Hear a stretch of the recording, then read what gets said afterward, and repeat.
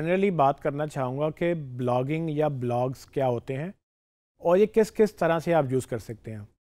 इसकी बेशुमार टाइप्स अब बन चुकी हैं, जबकि ये बेसिकली डायरी लिखने को कहा जाता था। एक वक्त था जब लोग अपनी डायरी हाथ से लिखते थे और उसको लॉग बोलते थे। वो एक डेली लॉग होता था, लोग डेली अपनी एक्टिविटीज़ उस पर या अपने थाट्स उस पर लिखते थे। फिर जब से डिजिटल आया, लोगों ने डिजिटल पे अपने थाट्स लिखना शुरू कर दिए और उसका नाम पड़ गया ब्लॉग अब ब्लॉग जब चलता रहा एडवांस होता रहा टेक्नोलॉजी आती रही तो ब्लॉग की शक्ल बदलना शुरू होगी। और वो जो ब्लॉगिंग की एक्टिविटी है, वो डिफरेंट तरह से नाम उसके रखे जा, रखे गए और डिफरेंट तरह से कहलाए जाने लगे। फॉर एग्ज़ाम्पल ट्विटर आया तो उसने लिमिट कर दिया कि जी, आप 140 करेक्टर से ज़्यादा टेक्स्ट लिख ही नहीं सकते। तो जब लोग उस पर अपने थाट्स लिखते थे विद इन लिमिटेड करेक्टर्स तो उसको माइक्रो ब्लॉगिंग का नाम दिया गया कि जी, ये माइक्रो ब्लॉगर हैं।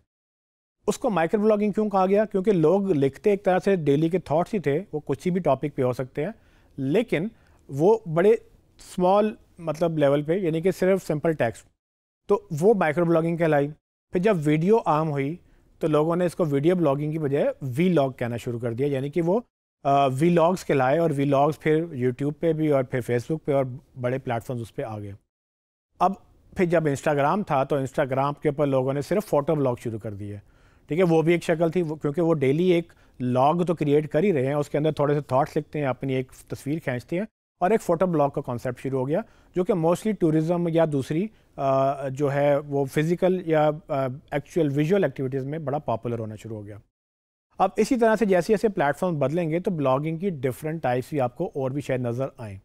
अब जब ऑडियो ब्लॉग्स आए लोगों ने ऑडियो पे बात करना शुरू की तो उसको लोगों ने पॉडकास्टिंग कहा। ऑडियो ब्लॉग्स नहीं कहते पॉडकास्टिंग कहते हैं। बात तो वही है कि लोग अपने थाट्स सिर्फ़ बोल के रिकॉर्ड कर रहे हैं और उसको लोगों को, लोगों तक पहुँचा रहे हैं। अब हमने ये अंडरस्टैंड करना है कि ब्लॉगिंग बेसिकली किस किस तरह से हमारे लिए फ़ायदेमंद है। अक्सर लोग तो इसको ब्लॉग बिज़नेस के लिए यूज़ करते हैं। अगर तो आप बिज़नेस में अपना कुछ प्रोडक्ट बेच रहे हैं तो ब्लॉगिंग एक आसान तरीका है कंटेंट क्रिएट करने का, लोगों को इनवाइट करने का, लोगों को एजुकेट करने का, लोगों को इंटरेस्टेड रखने का अपने बिज़नेस के अंदर। लेकिन ज़रूरी नहीं कि सिर्फ़ ब्लॉग्स बिज़नेस के लिए ही यूज़ होते हैं। अक्सर आपने सुना होगा कि ब्लॉगिंग से पैसे बनते हैं। एडसेंस का नाम भी सुना होगा। तो ये ब्लॉगिंग जो है बेसिकली अगर आप शौकिया करना चाहते हैं तो आप हॉबी ब्लॉग्स भी चला सकते हैं। यानी कि आपका कोई शौक़ है, आप गाड़ियों के शौक़ रखते हैं, आप किसी इलेक्ट्रॉनिक्स के शौक़ रखते हैं तो आप उसकी बेस पर भी आप ब्लॉग्स क्रिएट कर सकते हैं। अब इसमें हरगिज़ नहीं है कि आप सिर्फ़ अगर किसी, वैसे अगर मोबाइल्स का आपको शौक़ है आप मोबाइल बेचते नहीं हैं लेकिन मोबाइल रिव्यू ज़रूर करते हैं। नया मोबाइल आया उसकी आप बात करना चाहते हैं तो लिखे बगैर भी तो बात हो सकती है आप बोल के भी तो बात कर सकते हैं। सो so, ब्लॉग के अंदर कंटेंट का जो फॉर्मेट्स हैं वो चारों के चारों यूज़ आप कर सकते हैं बट मकसद बदल जाता है। अगर आप ब्लॉग पैसों के लिए बना रहे हैं तो आप बिल्कुल उसको न्यूज़ की कैटेगरी में लेके जा सकते हैं आप उसको एजुकेशनल कैटेगरी में लेके जा सकते हैं रिव्यूज़ कर सकते हैं आप नई नई चीज़ों के बारे में बात कर सकते हैं आप ऐसी बातें कर सकते हैं जो कि कोई और नहीं कर रहा। अक्सर आपने देखा होगा कि ऐसे बड़े बड़े ब्लॉग्स बन चुके हैं पाकिस्तान के अंदर भी और इंटरनेशनली भी, जो कि एक प्रॉपर न्यूज़पेपर नहीं है, लेकिन न्यूज़पेपर से ज़्यादा रीडरशिप रखते हैं। पाकिस्तान में ऐसे बेशुमार एग्जाम्पल्स मौजूद हैं, जो कि एक अच्छे अखबार से ज़्यादा पैसे बनाते हैं। यानी कि वो इतना कंटेंट क्रिएट करते हैं, वो हैं तो एक ब्लॉग वो कोई एक्रीडेटेड न्यूज़पेपर नहीं है बट वो इतना कंटेंट क्रिएट करते हैं कि वो रेवेन्यू वाइज बाकी जो एक्चुअल न्यूज़पेपर्स हैं या जो टीवी चैनल्स हैं, उनसे ज़्यादा पैसे भी बना सकते हैं। सो ब्लॉग्स की बेशुमार कैटेगरीज हैं। मकसद बदल जाता है। अगर आपने अपने बिज़नेस के लिए यूज़ करना है तो आप बिल्कुल उसको बिज़नेस ब्लॉग का ब्लॉग कह सकते हैं और बिज़नेस के लिए उसको यूज़ कर सकते हैं। अगर आपने एज अ हॉबी यूज़ करना है तो आप उसको हॉबी बेस्ड ब्लॉग कह सकते हैं, उसको यूज़ कर सकते हैं। अगर आपने सिर्फ़ वीडियो बेस्ड ब्लॉगिंग करनी है तो आप उसको वी लॉग कह सकते हैं। अगर आपने उसको सिर्फ़ फ़ोटोज़ पे इंस्टाग्राम के ऊपर या दूसरी वेबसाइट के ऊपर सिर्फ़ फ़ोटो बेस्ड ब्लॉग चलाना है।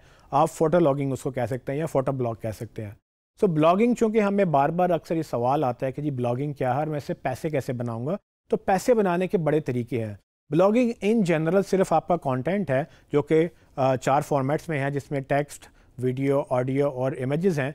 अब आप उसको यूटिलाइज़ कैसे करते हैं किस मकसद के लिए करते हैं वो डिफरेंट टाइप्स और डिफरेंट कैटेगरीज उसकी बन जाती हैं।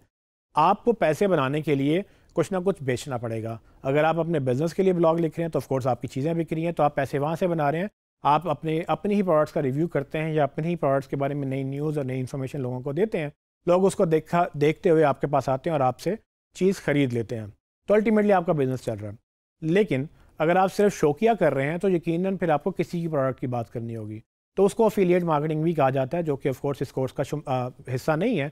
बट आप अगर पैसे बनाने के तरीके सीखना चाहते हैं तो हमारे दूसरे कोर्सेज में आप उसको देख सकते हैं। सो so, ब्लॉगिंग से पैसे बनाने के लिए आपको एडसेंस या अफिलिएट मार्केटिंग या मल्टीपल तरीके आपकी कोई डायरेक्ट स्पॉन्सरशिप्स भी हो सकती हैं आपकी क्रॉस प्रमोशन भी हो सकती है और भी बेशुमार तरीके हैं। बट ब्लॉगिंग बिज़नेस के लिए भी यूज़ होती है। सो so, हमने अभी तक जितनी एग्जांपल्स ली थी वो बेसिकली बिज़नेस से रिलेटेड थी। लेकिन ये मुनासिब था कि हम आपको ये भी बताते कि ब्लॉगिंग जो है उसके बड़े तरीके हो सकते हैं, बड़े रीजंस हो सकते हैं और उसमें आप बड़ी मुख्तलिफ़ टाइप्स या मुख्तलिफ़ कैटेगरीज में उससे आप और तरह से भी अर्निंग कर सकते हैं। अगर आपको ब्लॉगिंग एज अ कैरियर लेना है तो ऑफकोर्स आपको लिखना आना चाहिए। अगर आप वीडियो ब्लॉग की बात करते हैं तो ऑफकोर्स आपको वीडियो बनानी आनी चाहिए, उसको एडिट करना आना चाहिए। अगर आप फ़ोटो ब्लॉग की बात करें तो आपको फ़ोटो खींचनी आनी चाहिए, उसको एडिट करना आना चाहिए। तो हर तरह के ब्लॉग के अपने पैरामीटर्स हैं बट ब्लॉगिंग इन जनरल जो है वो कंटेंट मार्केटिंग ही है, और उसको अब हम कंटेंट मार्केटिंग भी कह सकते हैं ब्लॉग ब्लॉगिंग भी कह सकते हैं कंटेंट क्रिएशन भी कह सकते हैं। तो इसके नाम बदलते रहते हैं डिपेंडिंग अपॉन के वो किस तरह की कैटेगरी में या किस तरह के कॉन्टेक्स्ट में यूज़ हो रहा है।